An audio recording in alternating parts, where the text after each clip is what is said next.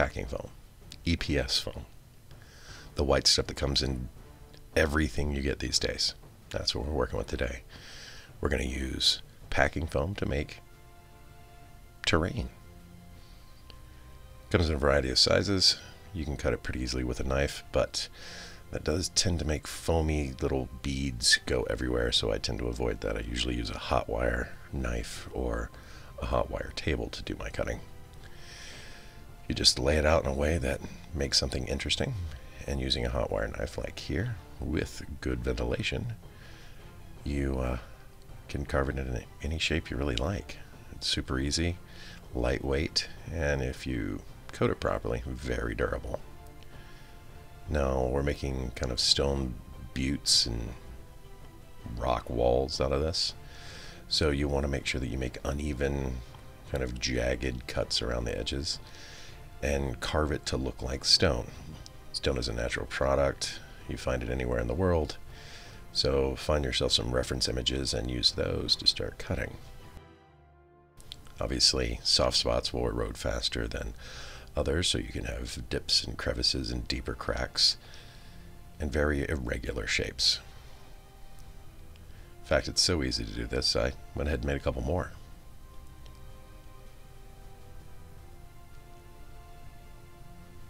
There's going to be little stringy bits here and there on it, so you're going to want to take those off, and if you're lucky, someone will get you a real fancy lighter to do that. Again, use good ventilation. And you just take it for a second and burn off any stringy bits. Now our friend Mod Podge and brown paint is going to be helping us today.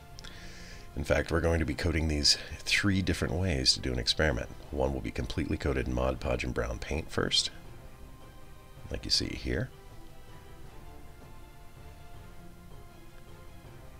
Another will be coated in plaster.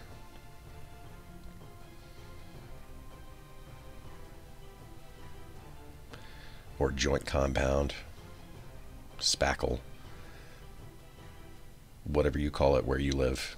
It's this stuff. I like it because it's pink when it goes on, and when it fully cures, it turns white. And uh, remember, it adds a bit of weight. So do be careful when you're handling your freshly coated plaster L-shaped rock wall because disaster is right around the corner. Just like that. Oi.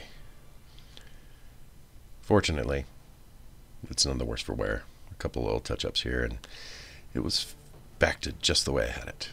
Now I'm going to show you my basing sludge. All the ingredients are optional. But you take approximately, you know, a lot of your joint compound or plaster, whether it's powdered or this ready mix stuff. You add some water and you dilute it down to it's the consistency of uh, Pepto-Bismol. Don't drink it, although it looks, smells, and feels exactly like it. I don't think that's their recipe. Then Mod Podge and brown paint again. This allows you to know where you've put it on after it's dried. That's why the brown paint is important, or black paint. I use brown paint for my uh, terrain basing, and I use black paint for my objects like structures and whatnot. Then we're going to add sand. This allows you to have a one-step process when you have this mixed up to just slather it onto your terrain to give you protection and uh, terrain texture. So sand and grit. It works really well. Your consistency that you're looking for is kind of like very watery mud. Using a brush you do not care about, scoop some out and begin slathering it into all the nooks and crannies. And the beautiful thing about this combination is that the layers between the pieces of foam that you've glued together go completely away because, well, this is filler, and that's exactly what it's doing. It's filling in all those fine lines so that they go away without destroying the carved detail that you've put into it. Now this one I didn't put anything on it first other than my basing goo, the sludge, and you can see it didn't cover it 100%. Now this one was just the plaster and it did a much better job because the basing goo sludge gripped to the plaster really well, but there's some light spots. And this is the one that had the Mod Podge and brown paint on it first. Seems to me that it bonded exceptionally well to that. And in the future, I'll probably just do that first before putting on my basing sludge. So after some touch-ups here and there, to make sure it's fully covered, we now have fully based things. Now let's take them outside and prime them. Oh, that's right. It's spring in Montana, so that's not an option. I guess it's airbrush time. Now after we've airbrushed these fully with gray primer, like we did in the uh, last video, of course we used a rattle can there, go through and make sure that everything is fully covered with a gray primer. And we're going to do our base coat of this golden brown again. Now, I find that if your brush is a little wet when you first start and you occasionally re-wet it, it helps these cheap craft paints kind of spread a lot easier, as you'll see here in just a moment.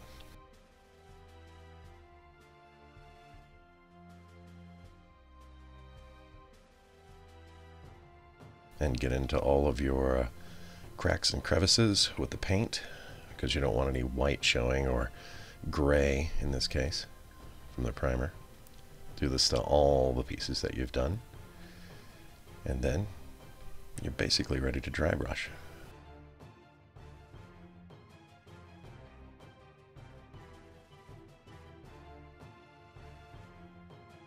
The same kind of beigeish khaki that I used before will be used again today. And it's as simple as this. Take most of the paint out, lightly brush over with a kind of medium soft brush so that you hit all the high points, all the grit. And here we're going to do a comparison. This is after dry brushing. And this is before. So let's make all these pieces match. Just like that. Now our good friend, the very old Greek pepperoncinis, make the best wash, but you have to wait until they turn completely black like this, otherwise they won't do the trick. When they're still green, I mean, it's a green wash and it's very dilute, it's, it's not worth it. Again with a slightly damp brush, take it and slather it on. You want to avoid big deep puddles because your wash will leave big dark patches if you do that. You want to evenly coat everything like this in all those recess places, I've got an experiment I want to conduct today. We're going to take a khaki and we're going to, again with a slightly wet brush here, uh, we're going to take some khaki paint and paint into those recesses that I created with the hot knife earlier. Now what this is going to do is obviously change the color, but we're going to make little puddles of some sort of alien sludge or slime or something. Slightly dilute this so that we get good flow.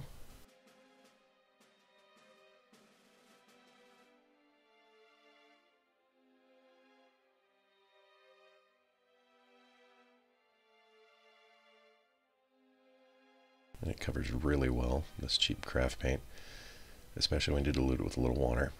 And then we're going to go back and dampen our brush without cleaning it after we get all these places and work around the edges so that we lighten that perimeter to create a sort of gradient from you know solid tan to almost a glaze around the edges as though the minerals from whatever's in these puddles is diluted out.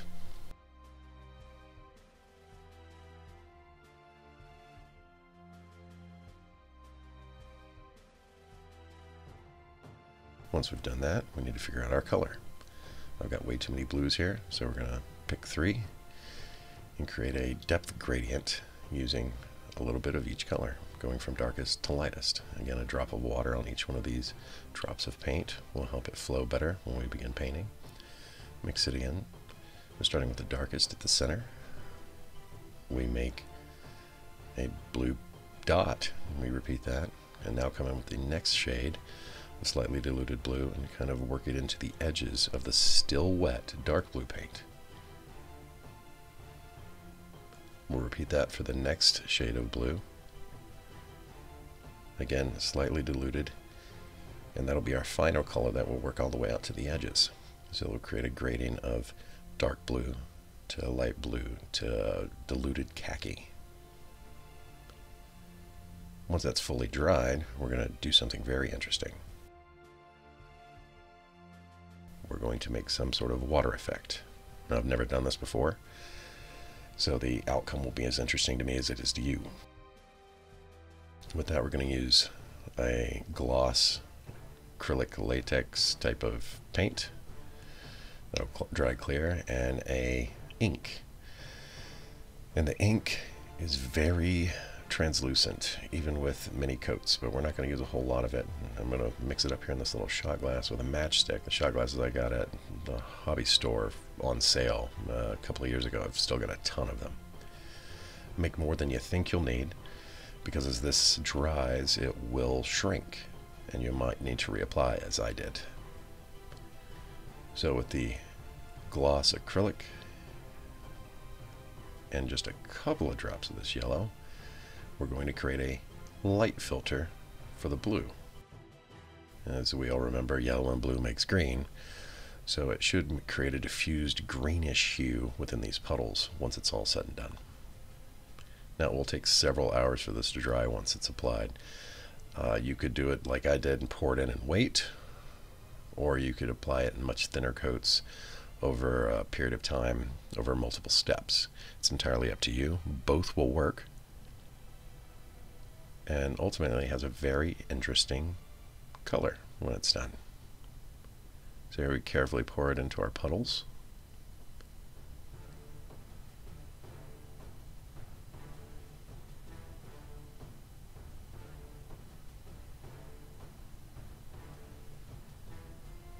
It very much does not look like anything good right now.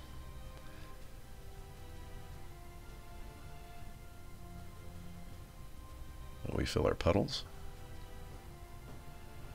Then we're going to come back with a brush and break the surface tension and spread it out to all the edges of our puddles so that way it's a whole area effect, not just this weird glob in the middle.